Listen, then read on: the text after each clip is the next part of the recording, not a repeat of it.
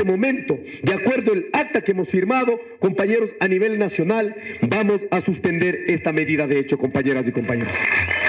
Segundo, segundo, el tema de la criminalización va a quedar bajo la buena fe, la buena voluntad del gobierno nacional. Porque saben por qué, compañeros y compañeras, escuchen, escuchen compañeros, nosotros siempre lucharemos para que exista independencia de funciones.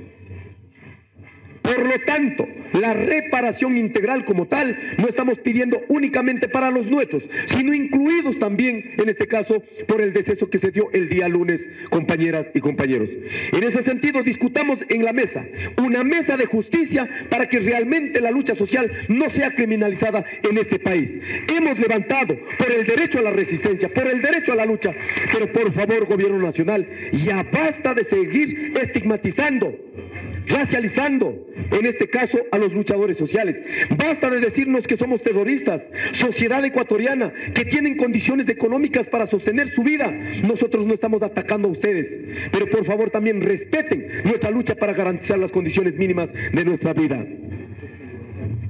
Sí. Em, por lo tanto, pido también, estimados compañeros, de estos dos puntos, el tema de la criminalización y el tema de la reparación integral, por la cual suspendemos esta medida de hecho en caso de incumplimiento en la firma que estamos poniendo en 90 días, ¿no es cierto? Tendremos la obligación de exigir nuevamente su debido cumplimiento.